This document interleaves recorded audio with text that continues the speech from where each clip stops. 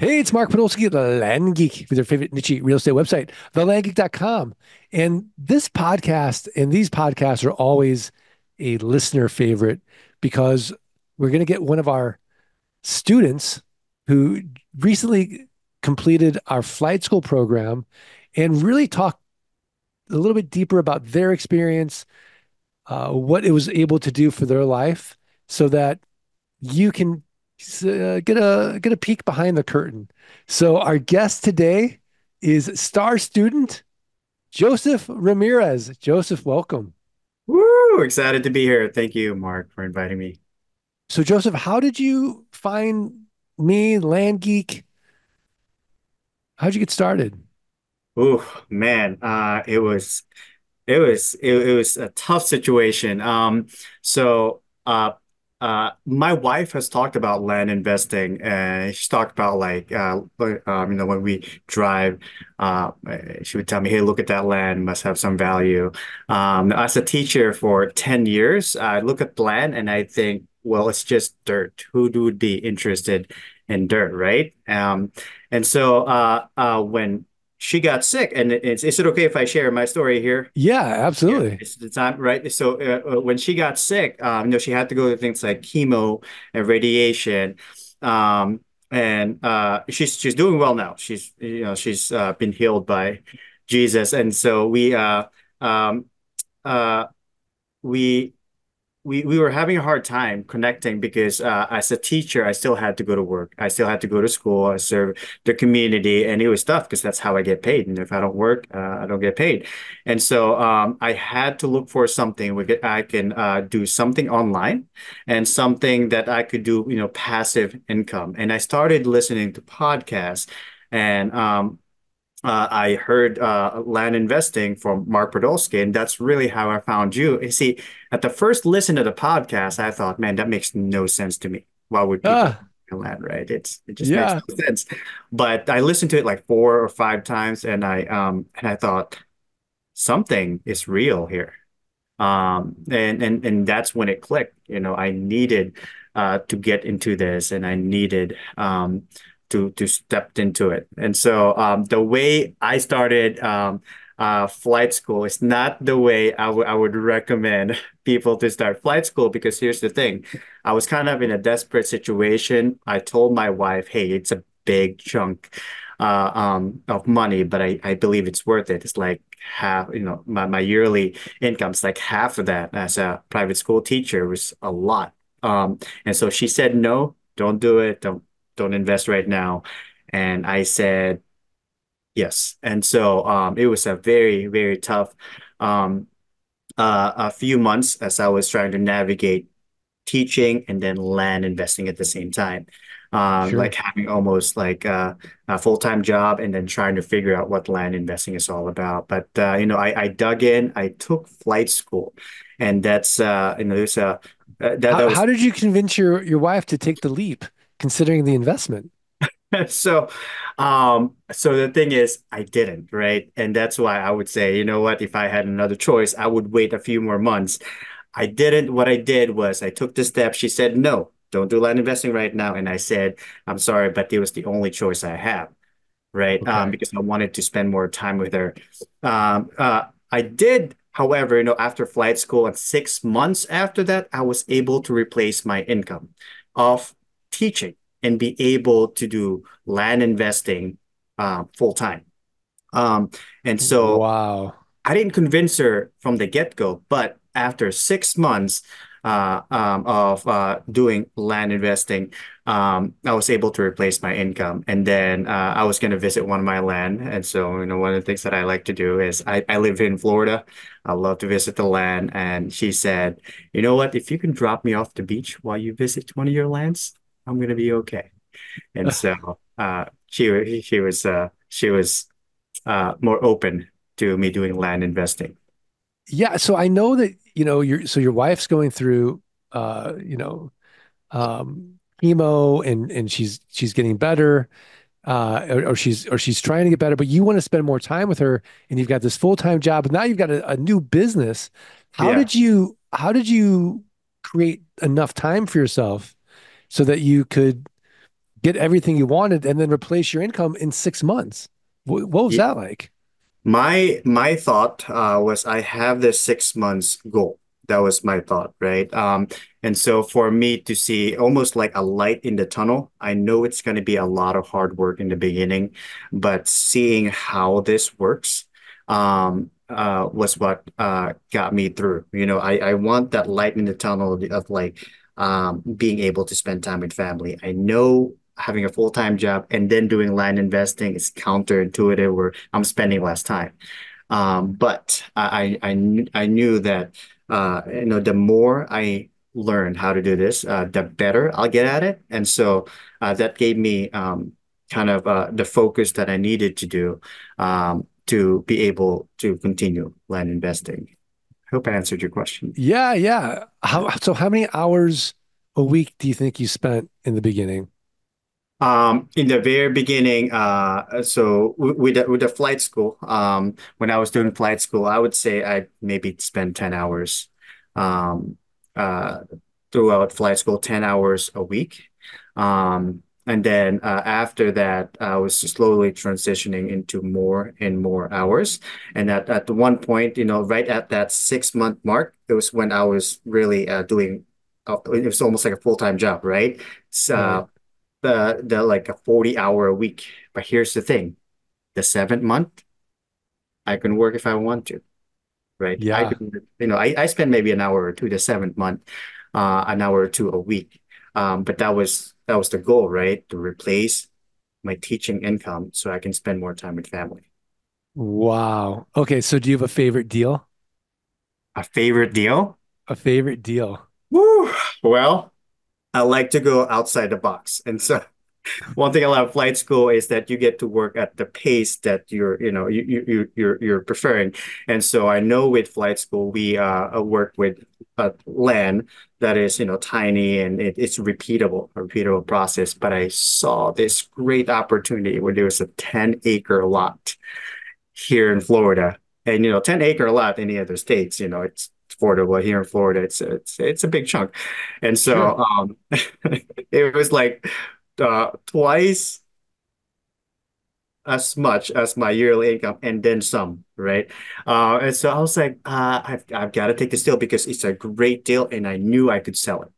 Um, uh, with uh, with the things that I learned from flight school, so I I took the the jump where I actually bought the land, um, um, How did you get the money? I- I'm I'm I'm making monthly payments on the land. Oh, okay, great. I'm making Okay. monthly payments on the land, and there's uh, interest, but uh, I am making twice as much on a monthly the term. You know what I learned from the flight school. I, I'm I'm I'm making uh, twice as much as as what I'm Okay. making. So you so you did a land arbitrage deal. I did, yes, and that's one of the things that that's really helped me. It's still helping me now. Um, from flight school is that land arb deal. Yeah. That's amazing. So for those of you that have just now are hearing land arbitrage for the first time, it's when you buy a piece of property, but instead of paying the full, you know, retail value of the price, let's say it's $40,000, you look at the market and you say, okay, if I could buy this for $500 down, $500 a month, but I know that the market is $1,000 down, $1,000 a month, I only need to come up with $500 and I can control a $40,000 parcel of land. So, no problem. And then you flip it and you make the spread. So, in this scenario, Joseph would be making $500 a month to control that land and and continue doing that. And so, if he knows he can sell it once, even if the person defaults, his only risk is making that $500 a month payment that next month while he goes and finds a new buyer. But he's paid down his cost basis with that uh, first buyer and continues doing that. And it's it's an amazing uh, it's an amazing strategy if you are capital constrained uh, to control land and and do that. So Joseph, that's that's amazing. What a great deal. Yeah, yeah, it's it's it's been amazing, and I I, I like to share one more if that's okay. Yeah, of course. So uh, one of the things I learned from uh, flight school is being able to mail out letters, right?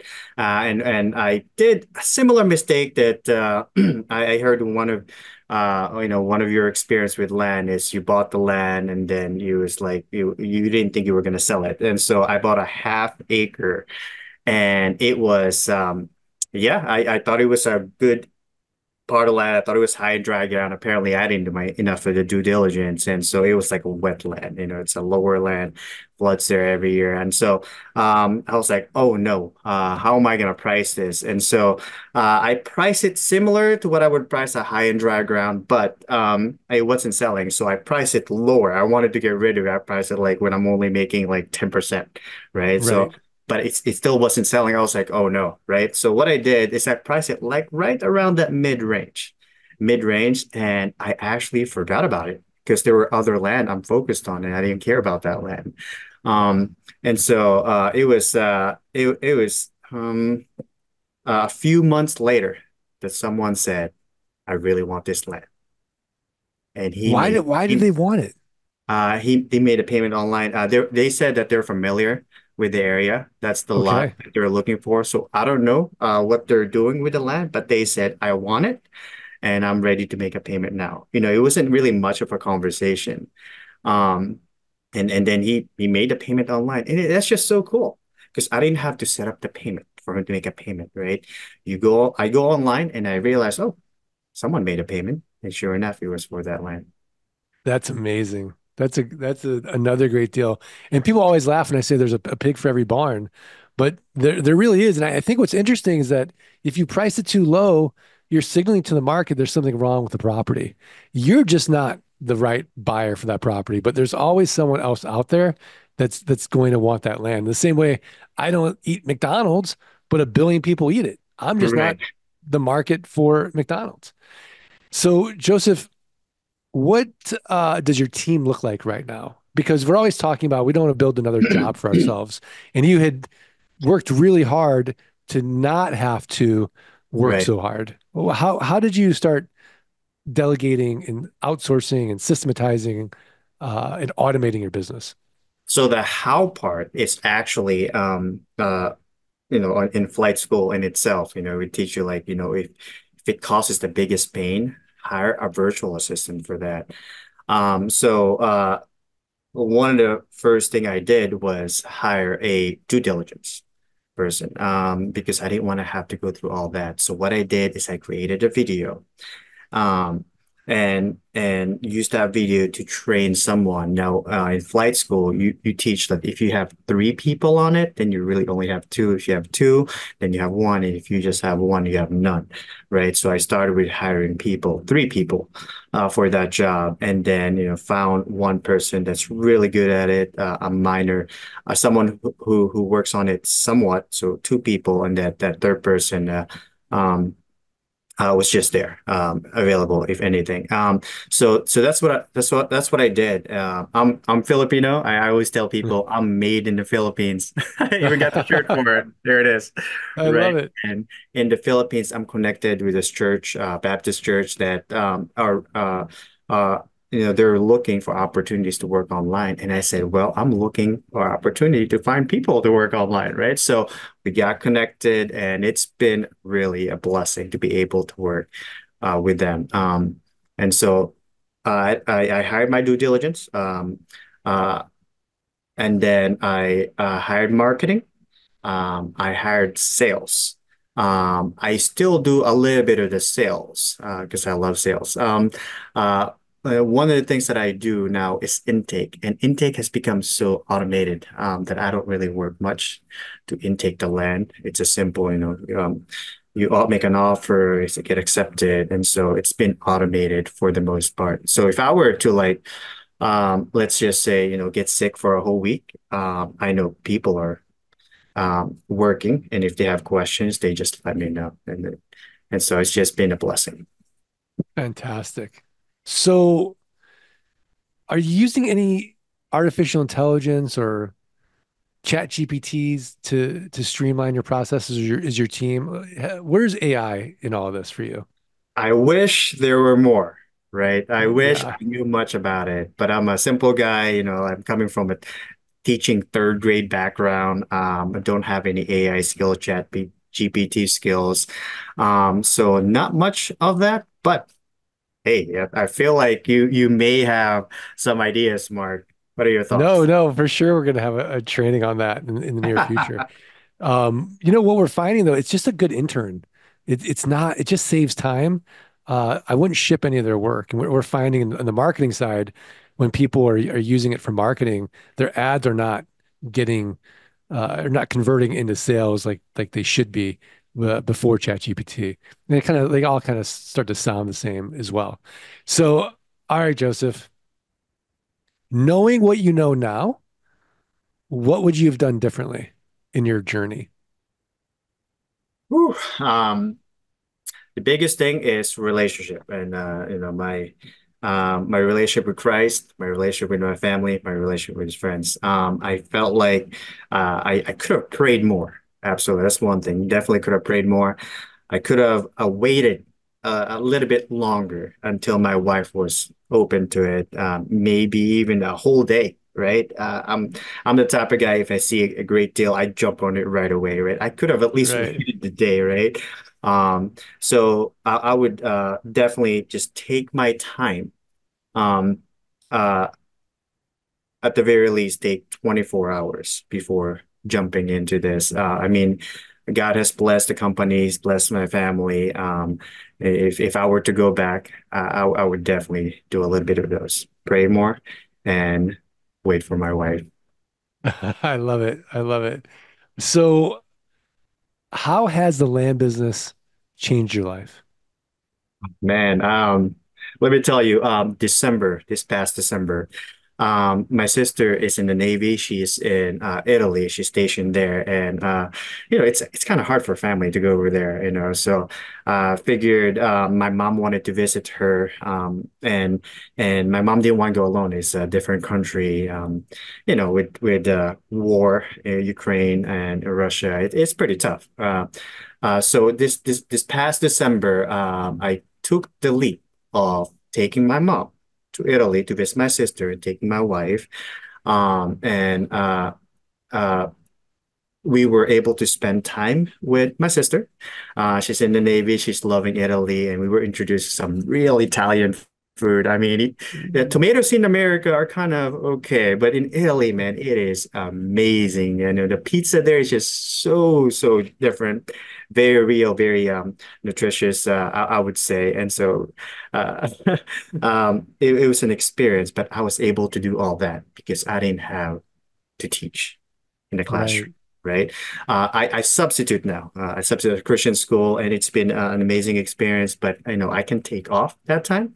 And here's the cool thing: when I was in Italy, you know, as my wife gave me permission to work two hours a day, um, uh, and I was able to buy and sell land from Italy. You know, it's it's just it's just an amazing, amazing experience to have that time freedom, to have that financial freedom. Um, you know, there's stress and uh, other things that comes along with that. You know, what if someone defaults, right? Uh, you know, I had to make a phone call because someone is late in their payment because you know, of something, right? Sure. So there are those kind of stress, but for the most part, it's really a blessing. I can choose to work when I want, um, and how much I want. I love it. And and you know, it's such a blessing that your your wife has recovered and that you were able to spend the time with her um that you did and and uh I remember we were on a on a call and and someone asked, you know, what's your your favorite place in the world? And your answer was anywhere my wife is. I I love that answer.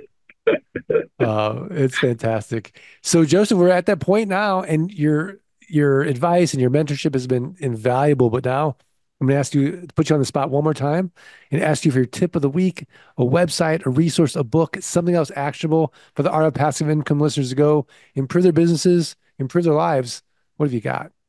Well, I would say this, um, if if if if you find that it encourages you, uh, that you're learning from it, continue to do it, whether it's uh, a prayer, whether it's uh, reading a book. Um, uh, uh, let's see here. I do have a book here. Give me just a moment here.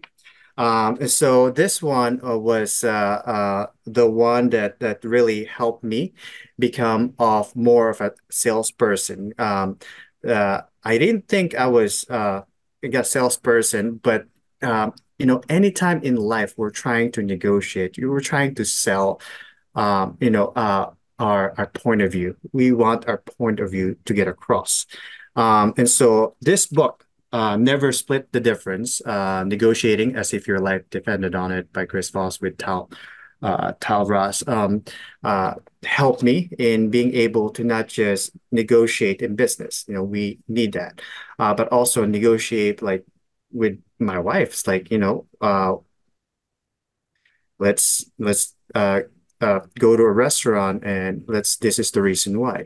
Why? Um, one thing that i would say that uh, um, this taught me is to be able to speak in a calm manner. Um, depending on the situation and uh, no matter no matter what the situation is we have to stay calm. Uh, um, our voice needs to be, be a dj fm uh, at night voice and it, I thought that was just a really cool thing because calmness is um, is uh, uh, uh, uh, what do you call it when it spreads from one another? Contagious. Contagious. Thank you. Calmness yeah. is contagious. So when you're calm, the other party's calm, they feel safe. And when you feel safe, um, it, it's a place where you'd want to stay. I love it. It's such a great book. Uh, I think it's been recommended a bunch of times. Well, my tip of the week is learn more about Joseph and the land he has uh, for sale. Go to landnoworlater.com. We'll have a link to it. Landnoworlater.com. And, um, you know, I do want to just mention that if you want to become like Joseph and learn more about flight school, go to thelandgeek.com forward slash training. Hopefully, this has inspired you in your journey as well. Thelandgeek.com forward slash training and uh, get on a call with our team and learn more and, and see if it's uh, going to be your ticket to total freedom so you can work when you want, where you want, and with whom you want, uh, like Joseph Ramirez. So, Joseph, are we good?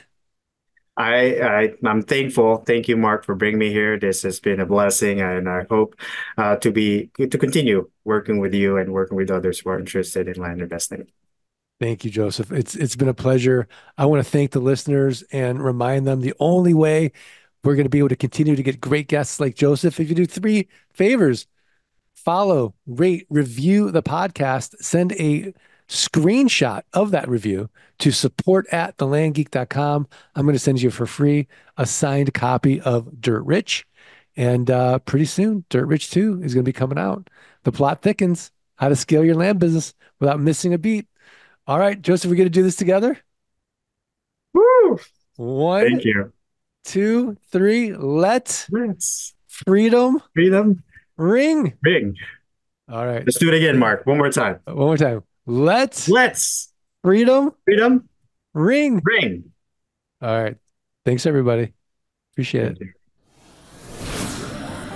Thanks for listening to the Art of Passive Income podcast. Are you ready to learn how you can start building a passive income without renters, rehabs, renovations, or rodents? Schedule a free consultation at thelandgeek.com forward slash training. Let freedom ring.